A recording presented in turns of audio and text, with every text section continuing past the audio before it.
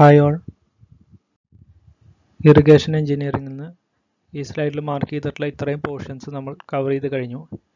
ഇനി ഈ ഒരു വീഡിയോയിൽ ഡിസ്കസ് ചെയ്യുന്നത് hydro electric projects and turbines എന്ന് പറയുന്ന ലാസ്റ്റത്തെ ആ ഒരു പോർഷനാണ് ഹൈഡ്രോ ഇലക്ട്രിക് പവർ പ്ലാന്റ് ഇവിടെ നമുക്ക് കുറച്ച് ടേംസ് ആണ് പഠിക്കേണ്ടത്. അപ്പോൾ ആദ്യം തന്നെ അതിന്റെ ഒരു ലേ നോക്കാം.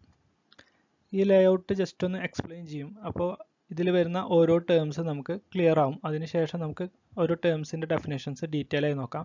ഫസ്റ്റ് എങ്ങനെയാണ് ഒരു ഹൈഡ്രോ ഇലക്ട്രിക് പവർ പ്ലാന്റിന്റെ ആ ഒരു വർക്കിംഗ് നോക്കാം.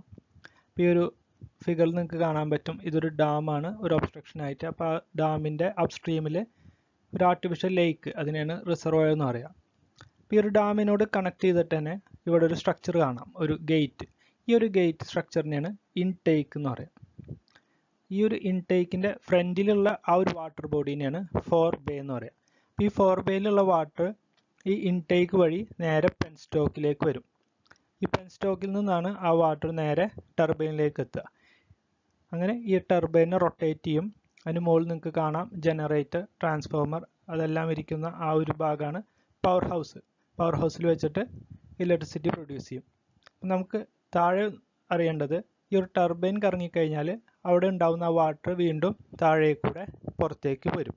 അപ്പോൾ ഇവിടെ നിങ്ങൾക്ക് എൻലാർജ് ഡയാമീറ്റർ ആയിട്ടായിരിക്കും കാണുന്ന ഈ ഒരു ഭാഗത്തിനാണ് ഡ്രാഫ്റ്റ് ട്യൂബ് എന്ന് പറയുക ഡ്രാഫ്റ്റ് ട്യൂബ് വഴി ആ വാട്ടർ പുറത്തേക്ക് വരുന്ന ഈ ഒരു റിവറിന്ന് മാർക്ക് ചെയ്തിട്ടുള്ള ഈ ഒരു ഭാഗത്തിനാണ് ടെയിൽ റേസ് എന്ന് പറയുക അപ്പോൾ ഇത്രയും ടേംസ് ആണ് നമുക്ക് ഇനി അടുത്ത് അറിയേണ്ടത്.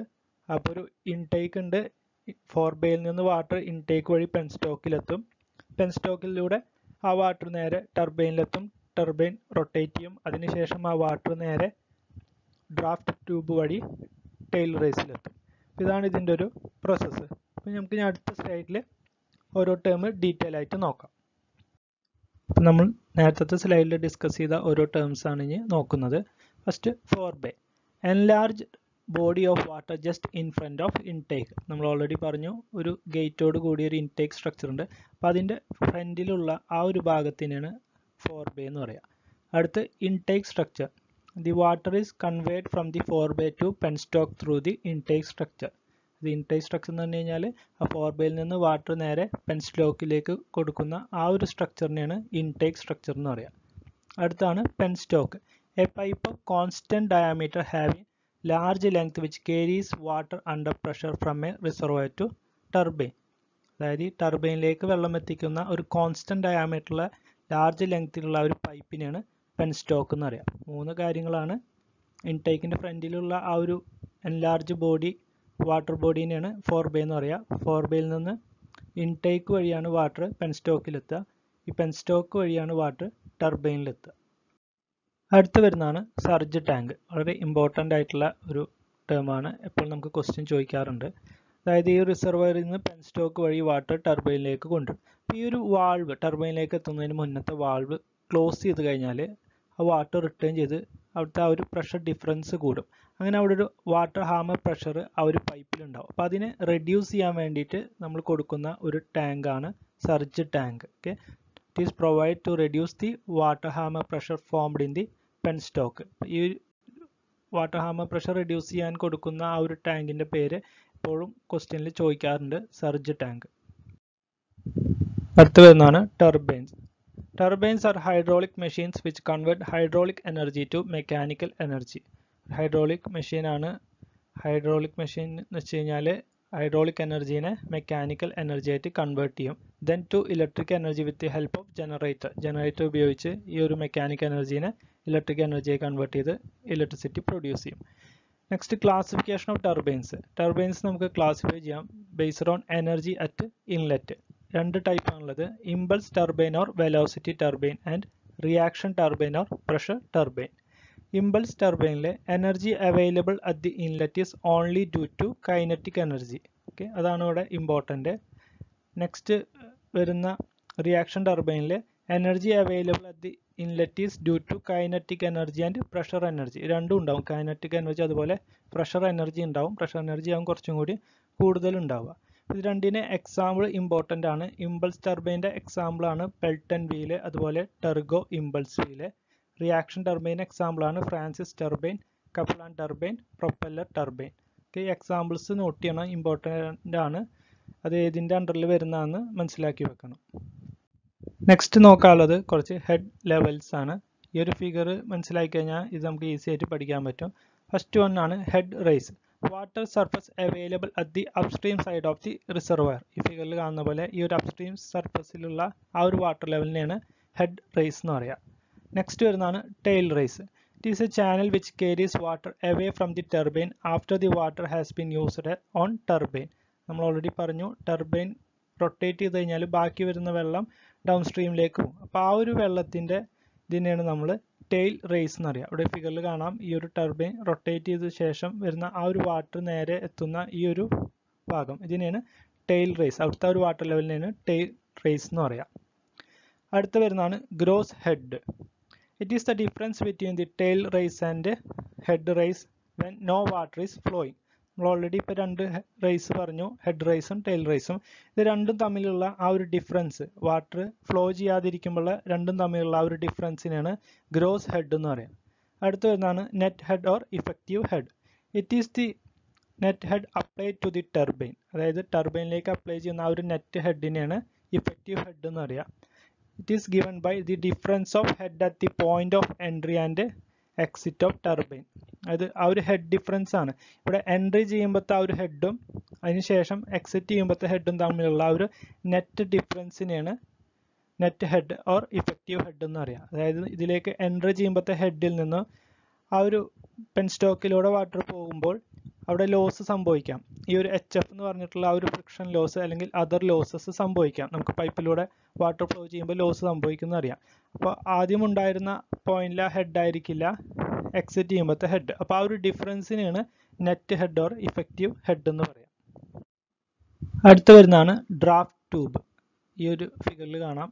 ഈ ഒരു ഭാഗത്തിന് draft tube the draft tube is a pipe of gradually increasing area which connects the outlets of runner to the tail race നമ്മൾ ഓൾറെഡി പറഞ്ഞു ടെർബൈൻ കറങ്ങി കഴിഞ്ഞിട്ട് ബാക്കിയുള്ള ആ ഒരു വാട്ടർ നേരെ ടെയിൽ വാട്ടർ ആയിട്ടാണ് ഡൗൺ സ്ട്രീമിലെത്തും അപ്പോൾ ഈ പോകുന്ന ഈ ഭാഗത്തുള്ള ഈ ഒരു പൈപ്പിനെ അതായത് ഇൻക്രീസിങ് ഏരിയ ഉള്ള ഈ ഒരു പൈപ്പിനെയാണ് നമ്മൾ ഡ്രാഫ്റ്റ് ട്യൂബ് എന്ന് പറയുക അത് കണക്ട് ചെയ്തിട്ടുണ്ടാവുക റണ്ണറിന്റെ ഔട്ട്ലെറ്റിൽ നിന്ന് അതിന്റെ ഒരു എൻഡ് ടെയിൽ റേസിലേക്കായിരിക്കും ഈ ഒരു ട്യൂബിനെയാണ് ഡ്രാഫ്റ്റ് ട്യൂബ് എന്ന് പറയുക it is use to discharging water from the exist of turbine to the tail race അതായത് ആ വാട്ടറിനെ ഡിസ്ചാർജ് ചെയ്യാൻ.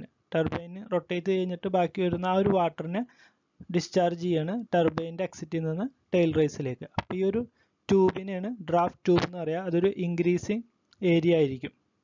അടുത്ത് വരുന്നതാണ് power house power house of electric scheme serve has protecting covering for the hydraulic and electrical equipment നമുക്ക് ഈ ഒരു ഫിഗറിൽ കാണുന്ന പോലെ ജനറേറ്ററും ട്രാൻസ്ഫോമറും എല്ലാം പ്രൊട്ടക്റ്റ് ചെയ്യുന്ന ആ ഒരു സ്ട്രക്ചറിനെയാണ് പവർ ഹൗസ് എന്ന് പറയാം.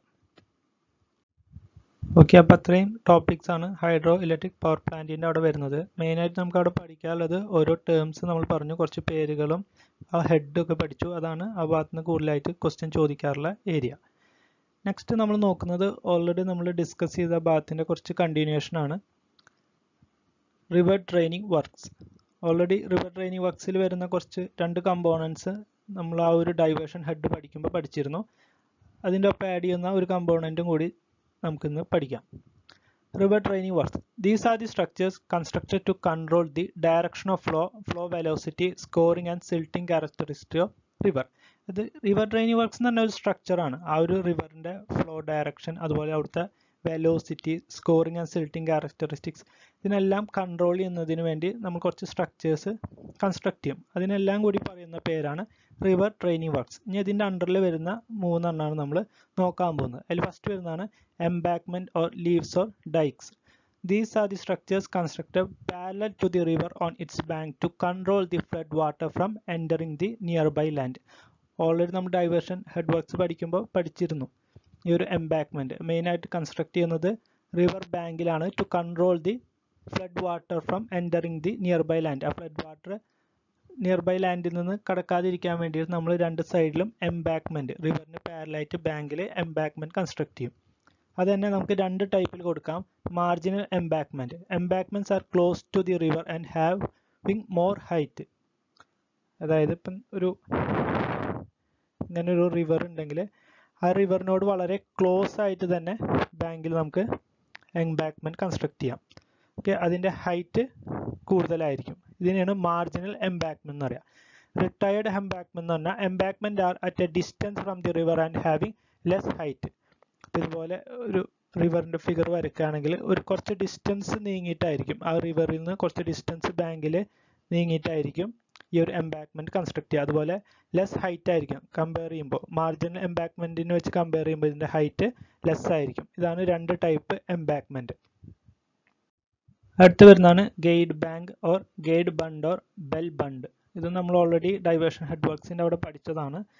To confine the flow of water when a hydraulic structure is constructed across the river അതായത് ഇങ്ങനെ ഒരു ഹൈഡ്രോളിക് സ്ട്രക്ചർ ഒരു റിവറിനെ അക്രോസ് ആയിട്ട് കൺസ്ട്രക്ട് ചെയ്ത് കഴിഞ്ഞാൽ രണ്ട് സൈഡിലും നമ്മൾ ഇതുപോലെ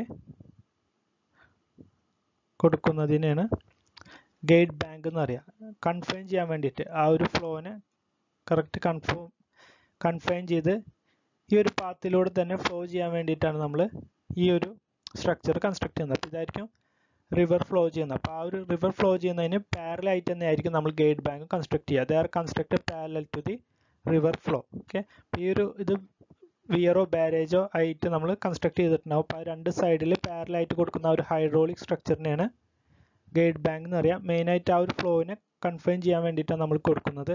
ഇത് ഇൻവെന്റ് ചെയ്തിട്ടുള്ളത് ബെല്ലാണ് അതുകൊണ്ട് ഇതിനെ ബെൽ ബണ്ട് എന്നും കൂടി അറിയും.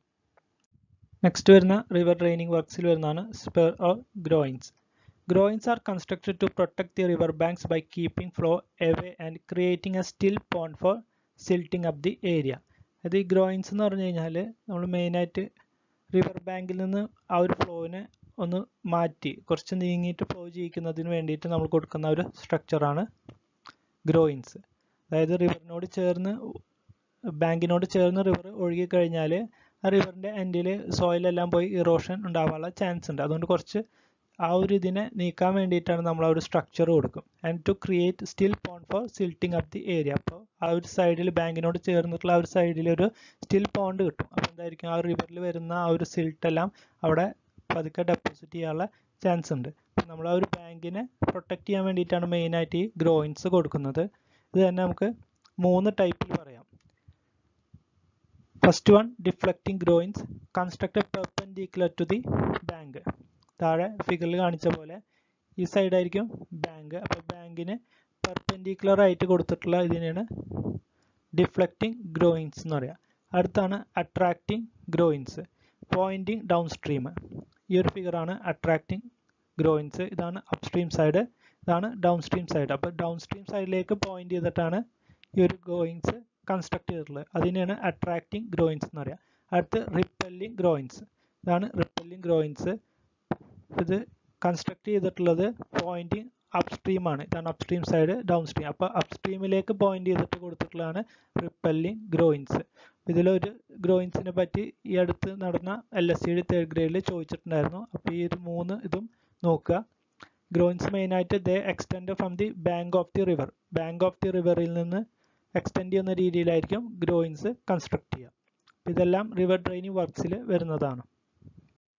നെക്സ്റ്റ് വരുന്നത് കനാൽ ഔട്ട്ലെറ്റ്സ് ആ ഒരു കനാലിന്റെ ടോപ്പിക്കിൽ വരുന്നതാണ് ഈ ഒരു ഭാഗം.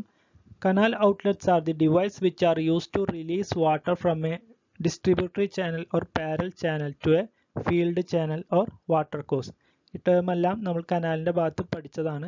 നമുക്കറിയാം മെയിൻ കനാലിൽ നിന്ന് ബ്രാഞ്ച് കനാൽ അവിടുന്ന് ഡിസ്ട്രിബ്യൂട്ടറി ലാസ്റ്റ് ഫീൽഡ് ചാനലിലേക്ക് എത്തും. അവിടുന്നാണ് വെള്ളം നേരെ ഇറിഗേഷൻ പർപ്പസിന് യൂസ് ചെയ്യുന്നത്. അപ്പോൾ ആ ഒരു ഡിസ്ട്രിബ്യൂട്ടറി കനാലിൽ നിന്ന് ഫീൽഡ് ചാനലിലേക്ക് കൊടുക്കുമ്പോൾ അതിന് തൊട്ട് മുന്നായിട്ട് ഒരു ഡിവൈസ് വെച്ചിട്ടുണ്ടാവും. ആ ഡിവൈസിൽ നിന്നായിരിക്കും ഈ വാട്ടർ റിലീസ് ചെയ്യുക. നമുക്കറിയാം ആ ഒരു ഡിസ്ട്രിബ്യൂട്ടറി ചാനലിന്റെ ലാസ്റ്റ് വരെ ആയിരിക്കും ഗവൺമെന്റിന്റെ കൺട്രോൾ ഉണ്ടാവുക. അപ്പോൾ ഗവൺമെന്റ് ആ ഒരു പോയിന്റിൽ എവിടേക്കാണോ വാട്ടർ വേണ്ടത് ആ ഒരു പോയിന്റിൽ ഇങ്ങനെ ഔട്ട്ലെറ്റ്സ് കൊടുത്തിട്ടുണ്ടാവും. ആ ഔട്ട്ലെറ്റ്സ് വഴിയായിരിക്കും നമ്മൾ ഫീൽഡിലേക്ക് വാട്ടർ റിലീസ് ചെയ്യുക. അത് തന്നെ നമുക്ക് മൂന്ന് ടൈപ്പ് ഉണ്ട്. First one non modular outlet type of irrigation outlet in which discharges directly depend on the available working head അതായത് നമുക്കറിയാം രണ്ട് ചാനലുണ്ട് ഒന്നെങ്കിൽ ആ ഒരു ഡിസ്ട്രിബ്യൂഷൻ ചാനലും പിന്നെ നമുക്ക് വെള്ളം വേണ്ട ഫീൽഡ് ചാനലും അപ്പോൾ രണ്ടിന്റെയും അവൈലബിൾ ആയിട്ടുള്ള ഒരു വാട്ടർ ലെവൽ അതിനെയാണ് ഇവിടെ വർക്കിംഗ് ഹെഡ് എന്ന് പറയുക അപ്പോൾ ആ ലെവൽ ഡിഫറൻസിനെ ഡിപ്പെൻഡ് ചെയ്തിട്ടുള്ള ഔട്ട്ലെറ്റിനെയാണ് നോൺ മോഡുലാർ ഔട്ട്ലെറ്റ് എന്ന് പറയാം. ഈ ഒരു ഡിസ്ട്രിബ്യൂഷൻ ചാനലിന് ഒരു വാട്ടർ ലെവൽ ഉണ്ടാവും. ആ ഒരു ഫീൽഡ് ചാനലിലും ഒരു വാട്ടർ ലെവൽ ഉണ്ടാവും. അപ്പോൾ ആ രണ്ട് വാട്ടർ ലെവലിനെ ഡിപ്പെൻഡ് ചെയ്തിട്ടായിരിക്കും ഈ ഒരു ടൈപ്പിന്റെ ഔട്ട്ലെറ്റിന്റെ ഡിസ്ചാർജ് അതിനെയാണ് നോൺ മോഡുലാർ ഔട്ട്ലെറ്റ് എന്ന് പറയുക ഇതിന്റെ എക്സാമ്പിൾ ഒന്ന് നോട്ട് ചെയ്ത് വെക്കണം. സബ്മർജഡ് പൈപ്പ് ഔട്ട്ലെറ്റ് അടുത്ത് വരുന്നതാണ് semi modular outlet type of irrigation outlet in which discharges depend on the water level in the parent channel or distributary channel only. അതായത് നേരത്തെ നമ്മൾ പറഞ്ഞത് ഡിപ്പെൻഡ് ചെയ്യുന്നത് ഡിസ്ട്രിബ്യൂട്ടറി ചാനലും ഫീൽഡ് ചാനലിലും വാട്ടർ ലെവൽ ഡിപ്പെൻഡ് ചെയ്തിരുന്നു. സെമി മോഡുലാർ ആകുമ്പോൾ distributary channel അല്ലെങ്കിൽ ആ ഒരു പാരന്റ് ചാനലിന്റെ വാട്ടർ ലെവലിനെ മാത്രമേ ഡിപ്പെൻഡ് ചെയ്യുന്നുള്ളൂ. ഫീൽഡ് ചാനലിലെ വാട്ടർ ലെവലിനെ ഡിപ്പെൻഡ് ചെയ്യുന്നില്ല. അതാണ് സെമി മോഡുലാർ ഔട്ട്ലെറ്റ് ഇതിന്റെ എക്സാമ്പിളാണ് കനഡീസ് ഗേജ് ഔട്ട്ലെറ്റ് അടുത്ത വരുന്നതാണ് modular outlet or rigid outlet type of irrigation outlet which discharge constant quantity into the field channel irrespective of the working head അതായത് ഇവിടെ ഒരു കോൺസ്റ്റന്റ് ഹെഡ് ഡിസ്ചാർജ് കിട്ടും. കാരണം ഇത് ഒരു ഇതിന്റെ വാട്ടർ ലെവലിനെ ഡിപ്പെൻഡ് ചെയ്യുന്നില്ല. അതായത് ഡിസ്ട്രിബ്യൂട്ടറി ചാനലിലെ വാട്ടർ ലെവലിനെ ഡിപ്പെൻഡ് ചെയ്യുന്നില്ല. ഫീൽഡിലുള്ള ചാനലിന്റെ വാട്ടർ ലെവലിനെ ഡിപ്പെൻഡ് ചെയ്യുന്നില്ല. അതുകൊണ്ട് തന്നെ ഒരു കോൺസ്റ്റന്റ് ഡിസ്ചാർജ് കിട്ടും. അതാണ് rigid outlet or modular outlet ഇതിന് എക്സാമ്പിളാണ് Gibbs rigid module also known as module outlet എന്നും കൂടി ഈ ഒരു മോഡുലാർ ഔട്ട്ലെറ്റിനെ പറയും. ഓക്കെ അപ്പോൾ അത്രയും ടോപ്പിക്സ് ആണ് ഇറിഗേഷൻ എഞ്ചിനീയറിംഗിൽ വരുന്നത്. നമ്മൾ സിലബസിൽ പറഞ്ഞ എല്ലാ ടോപ്പിക്സും കവർ ചെയ്ത് കഴിഞ്ഞു. നെക്സ്റ്റ് ക്ലാസ്സിൽ നമുക്ക് പ്രീവിയസ് ഇയറിൽ ചോദിച്ചിട്ടുള്ള ഇറിഗേഷനിൽ നിന്ന് ചോദിച്ചിട്ടുള്ള ക്വസ്റ്റ്യൻസ് ഡിസ്കസ് ചെയ്യാം. എല്ലാവർക്കും ഇറിഗേഷനിലെ എല്ലാ ടോപ്പിക്സും ക്ലിയർ ആയെന്ന് വിചാരിക്കുന്നു.